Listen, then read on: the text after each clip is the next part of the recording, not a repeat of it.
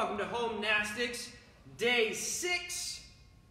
Some of the things you're going to need are the things that we always use. We got some chairs, we got some couch cushions, maybe a stuffed animal. Ooh, you know what we do need is a coin. I can't remember what I did with mine, but at some point you're going to need a coin. Okay?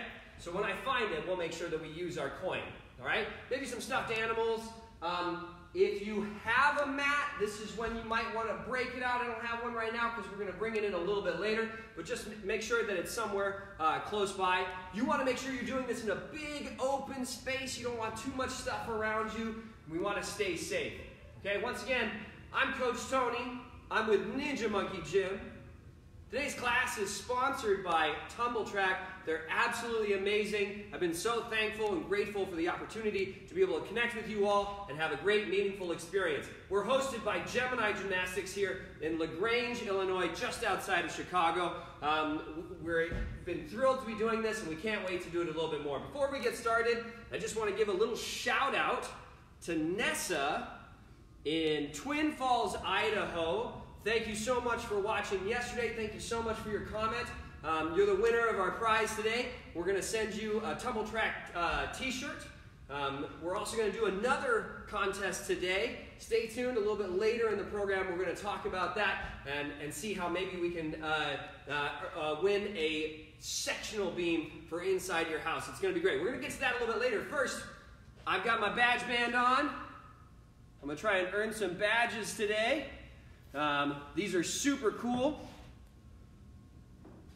We can do character badges and creativity badges. If you want to learn more about it, you can go to Ninja Monkey Box on Facebook. We'll talk about that a little bit more. But Ninja Monkey Box on Facebook. But first, let's get our warm up going. We're going to do a dance party. So, we're going to do some freeze dance. All right, we're going to do it for two minutes. And every time I hit play, I want you to dance. And every time I hit pause, I want you to freeze. Now, this is really, really easy for you. Here's your challenge. Every time I hit pause, you're going to want to be in a challenging position, like this. So, when you're dancing, make sure you're using your whole body to get jamming, okay? If you're just kind of dancing small, dancing tiny, when I say freeze, that's not going to be very challenging, right? But if you're getting loose, look, well, that's going to be a little bit harder to freeze on, okay? So challenge yourself. Are you ready? Freeze dance. Let's go.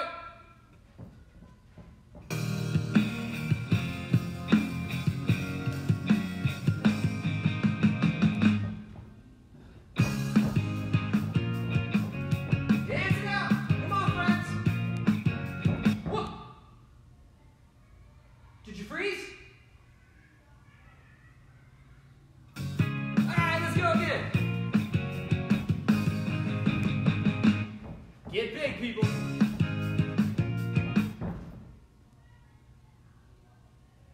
Did you freeze? Huh? Oh no! We've lost our freeze dance! Come back to us, freeze dance!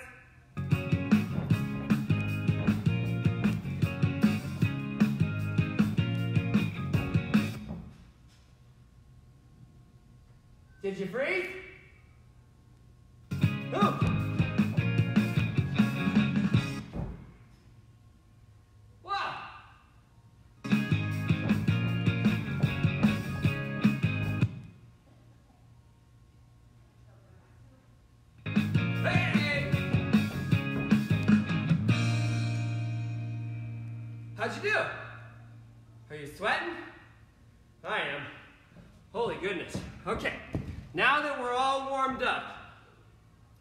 Let's get talking about our first batch, which is our creativity batch.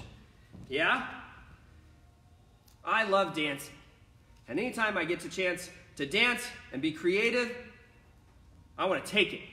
So I'm going to give myself a little creativity badge to go with my other ones. Look at all the other things that I've learned. Wow, that's just from this week. That's amazing. Okay, now it's handstand week at Homenastics. So that means all week we've been talking about handstands. We started at the beginning of the week doing a little bit of basic material. Yesterday we talked about shaping, how to do a nice handstand that's nice and stacked, nice and vertical, just like when you stand, right? Today is definitely going to be our most challenging one yet. We're going to do handstand walking. Okay? It is going to be a little bit challenging. And in fact, some of the things that we're going to do today, you're going to need to have a handstand to do. Now, you don't have to have a great handstand. You just be able to go up and come down with control. And you'll still enjoy all of the exercises. But even if you don't have a handstand, we're going to get you into the mix too.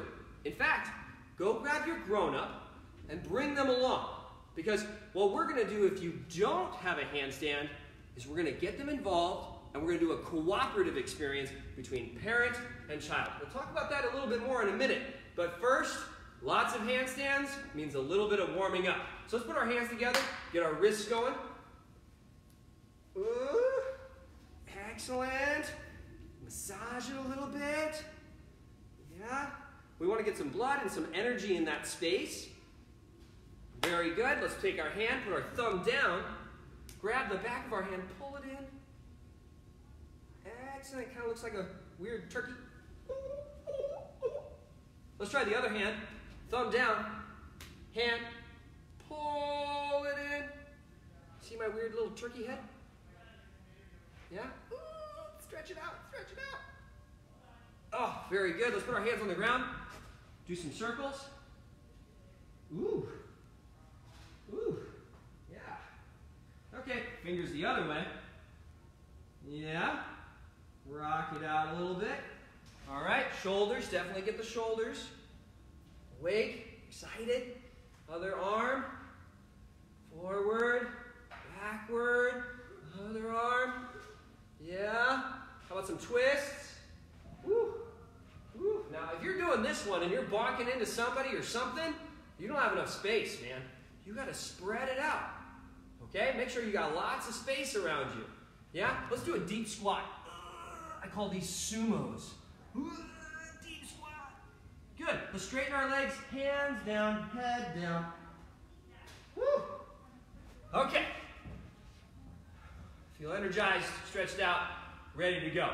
Now, before we get into handstands, let's make sure we understand a little bit about how we walk on our feet before we try to walk on our hands. So if I'm standing here, right, and I want to take a step, if I just pick up one foot, what do you think happens? Ah! I fall. Same with the other side. Ah! So if I'm going to take a step, what I first have to do is I have to transfer my weight onto one foot, then I can pick this one up and I don't fall, right? I got to transfer my weight onto the other foot, and then I can pick this one up and I don't fall. So if I want to walk on my hands, the same thing is true. If I go to pick up my hand in a handstand and I don't transfer my weight, then I fall. So if I want to pick up one hand, I've got to transfer my weight onto the other one. So if I go up, I got to transfer it onto the other side. So let's practice that first. Let's try it on something kind of tall. Now I'm going to move this around because there's no space behind this wall for me to put to do what I need to do. But if you have space, there's no need to move it. We're going to do what's called a high plank. A high plank are when my feet are above my shoulders. Now you can do a really high plank or you can do a kind of high plank. For me, it's going to be kind of a low high plank, but that's okay. Do whatever you feel safe with. I'm going to put my hands down. I'm going to put my feet on the back of this. And remember we talked about this a little bit with planks. We don't want to be too low. We don't want to be too high. We want to be just right. Okay? Just right is when my shoulders to my heels are one line. Now, I'm going to practice my weight transfer. Touch, touch, touch, touch, touch, touch. How'd it go? Why don't you try it? I'm going to do it one more time, and I'm going to spell my name as I touch my shoulders. Will you do it with me? Let's do it. Ready? Here we go.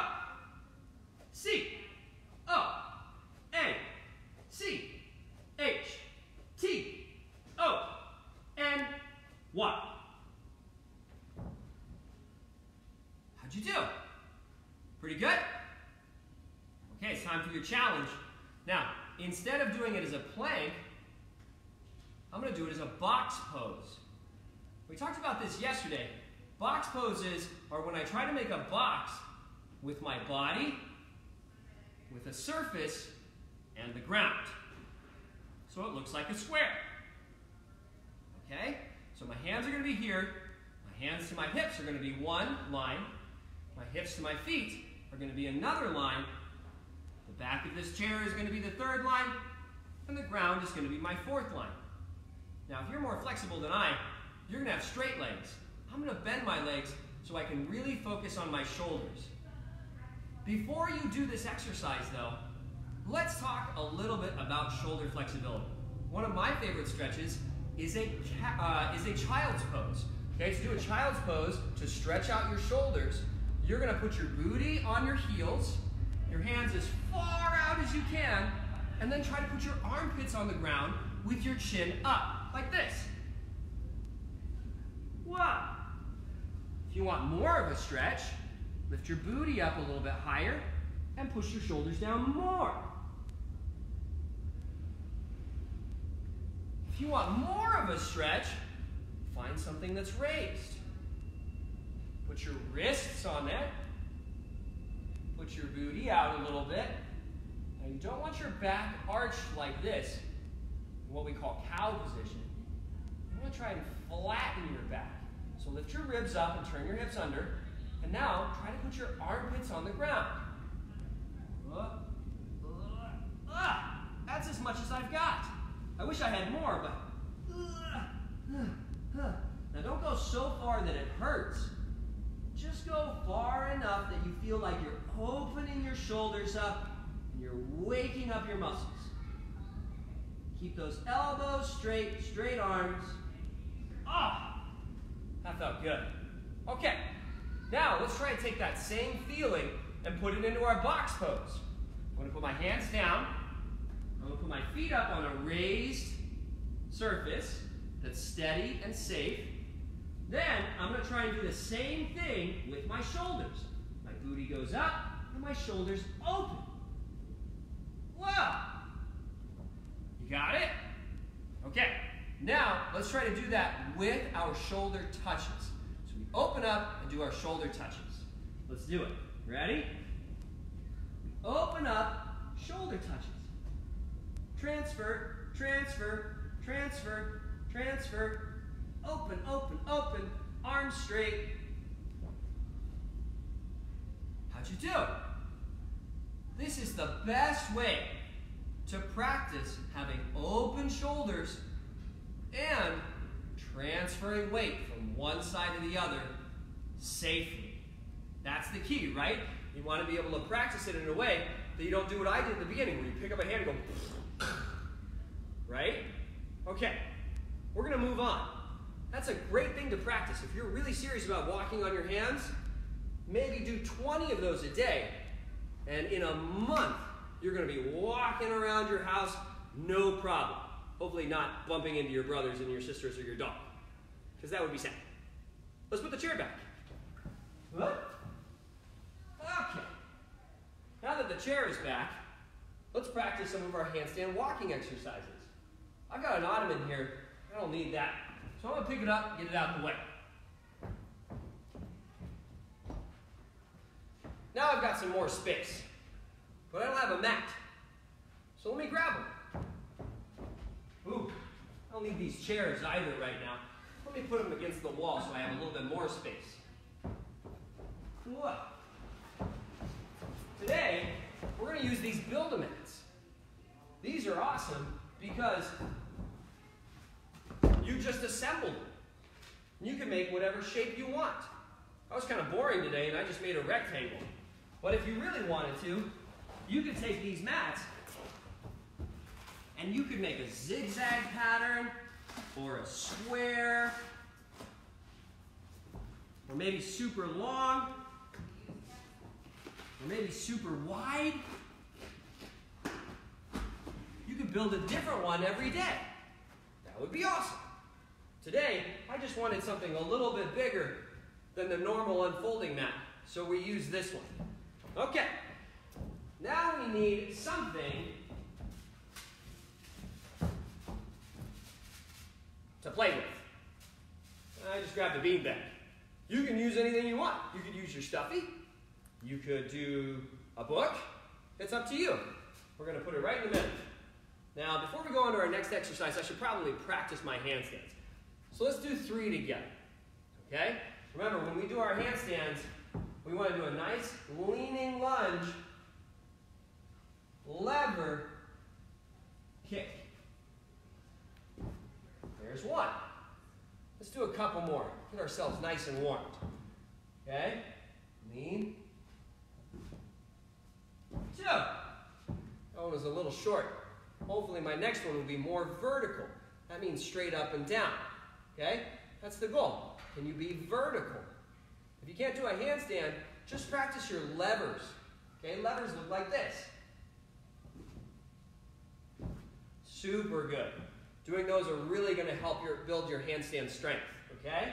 And your handstand confidence. Let's do one more good handstand. Leaning lunge, straight body line, lever, kick, handstand. All right.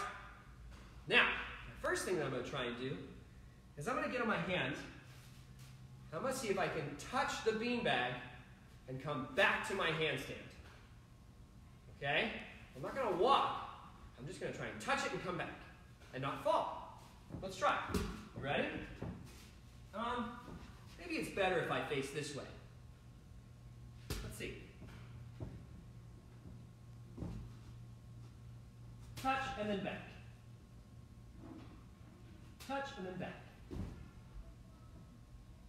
How'd you do? This one's kind of hard, isn't it? Yeah? This is a great game. You see how many touches you can do. Touch in the back. Touch in the back. Yeah? Let's try it one more time. Touch. Touch. Do you see that weight transfer? I take my body and I shift it over to one side. It's going to be really important later. Okay? That was pretty good. Let's get rid of this guy. Let's try some shoulder touches. Now instead of just touching something in front, I gotta get all the way up to my shoulder.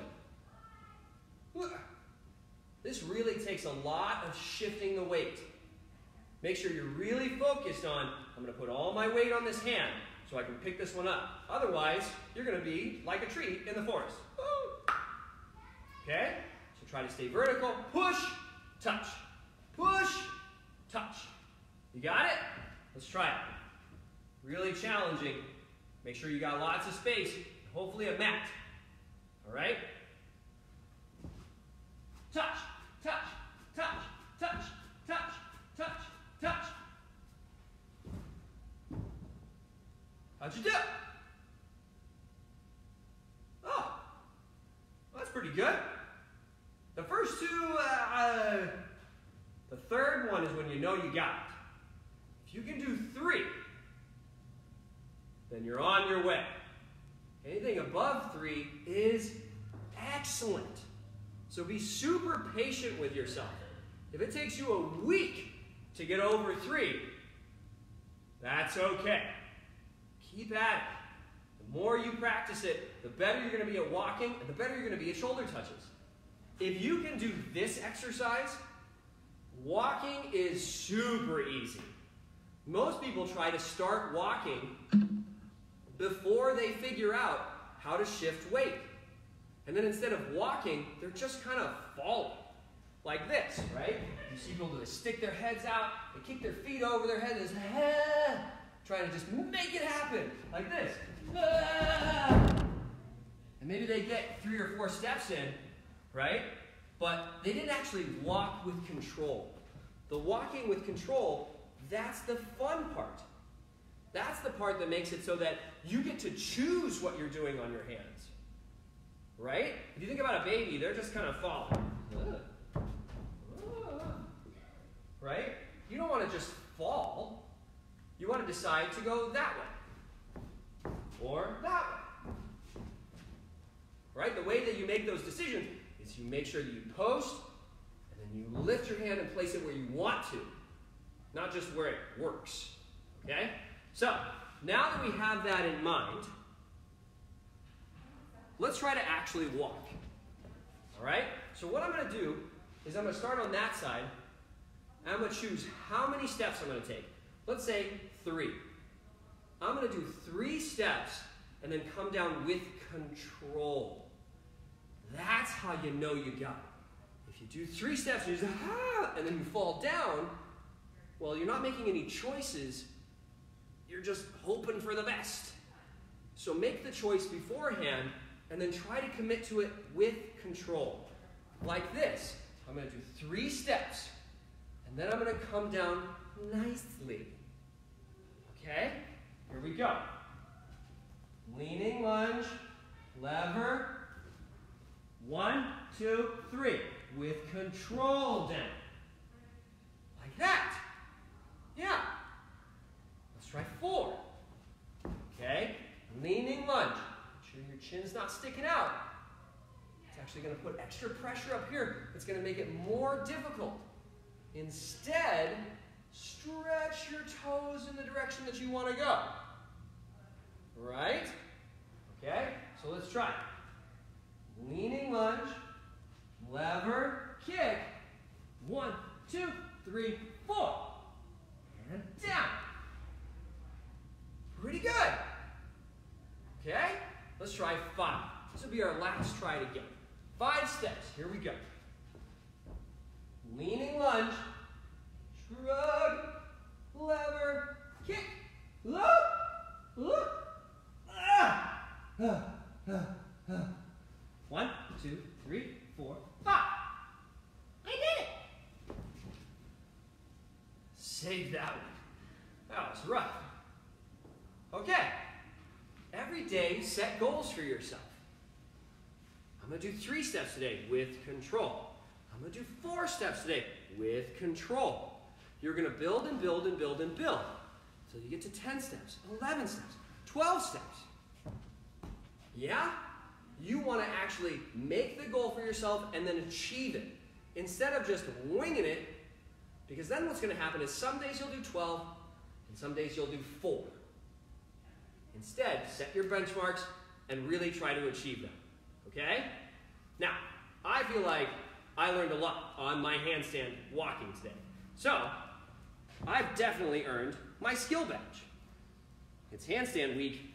That's what we're working on for our skill. So I'm going to give myself my skill badge.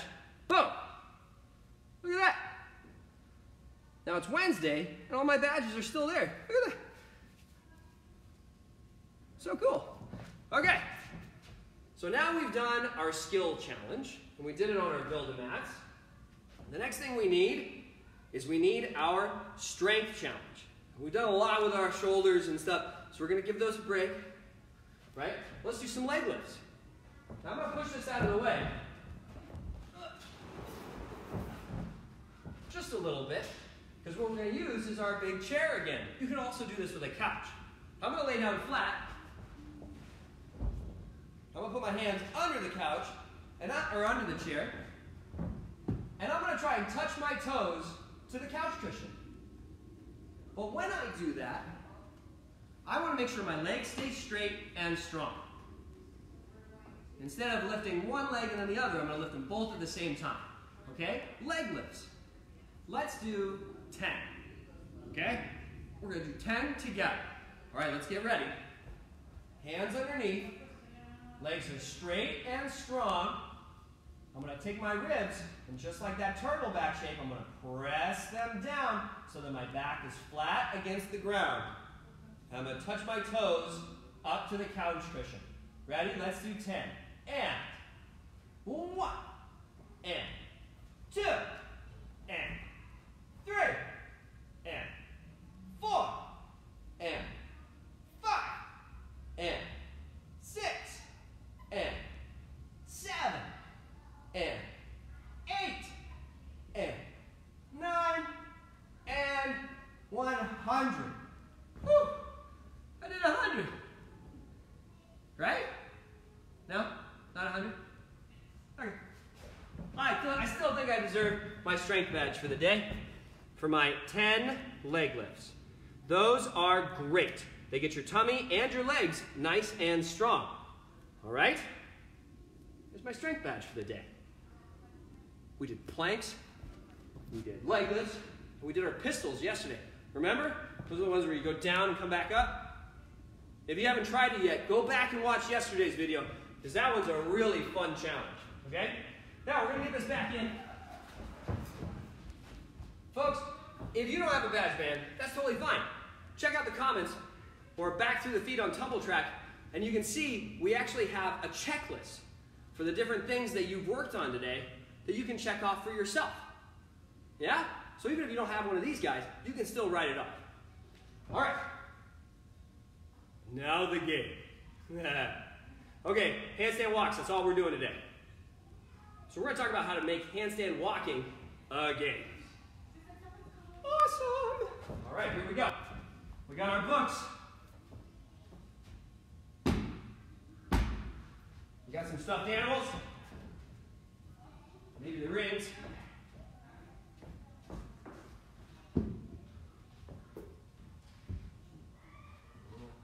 Let's get one more book. I like this one, it's got a monkey on it. okay. Whew. This is gonna be a super challenge. I'm gonna try and walk on my hands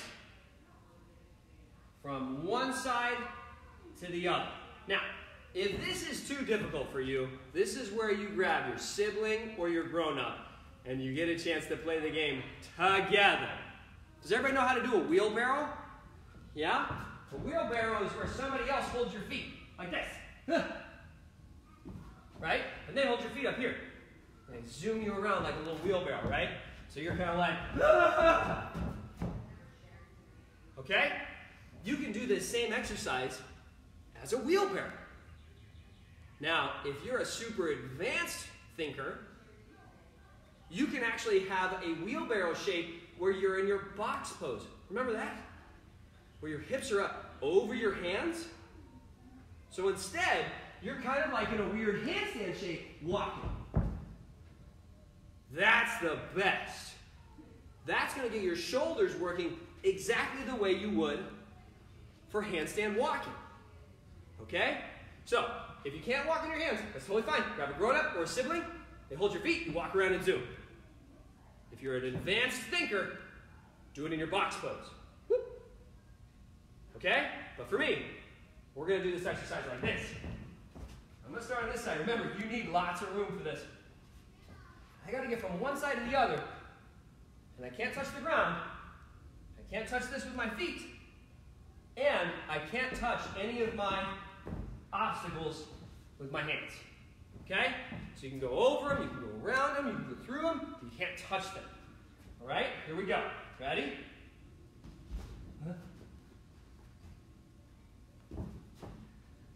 I made a simple mistake. My ottoman's over there. I thought I put it far enough away, but I didn't. So I kicked it on my way up. Don't be me. Make sure you got lots of space. Take two. Here we go.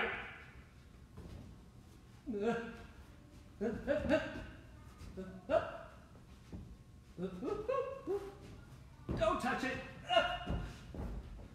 I did it! Whew. Whew. Now the next time I could move all these around. Make it a little bit different, right? Leave this up and see how many ways you can go through it. Super challenges. Are you ready? I've got two super challenges for you. One is, I got to do it on this side. I'm shoot it over here a little bit. Can I do the same exercise? Oh, you know what? I'll just do it like this. I don't know if I got it, friends. We're going to see. Can I go backwards? Whew. Whew. Whew. Ah.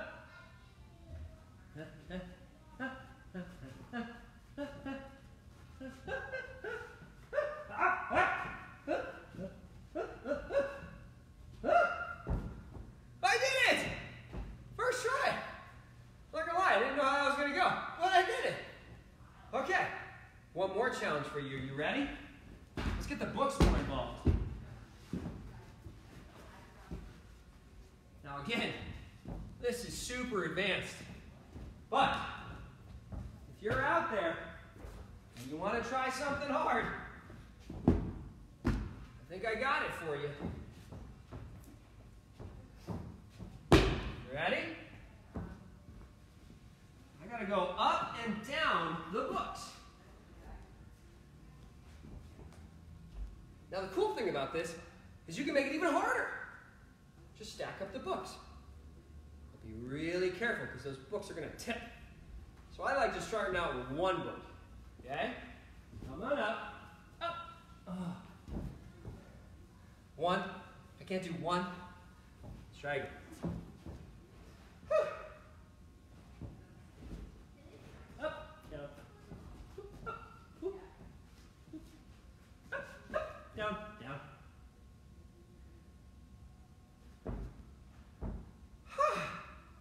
That's a really good workout. All right. Now my feeling is that takes a bit of courage. So I'm going to give myself a courage badge. That was kind of scary. Not going to lie to you. Didn't know how it was going to go. I conquered the day. I get a badge. Nailed it. Now, if you want to know more about these cool badge bands, check out Ninja Monkey Box on Facebook. And you, what you get inside of that box is a cool class like this. Uh, a lot of uh, more stuff from Tumbl Trak um, on their Tumbl Trak Facebook page. This has been hosted by Gemini Gymnastics. We love having you. Hopefully, we get a chance to see you at the same time tomorrow. You guys have been absolutely awesome. Looking forward.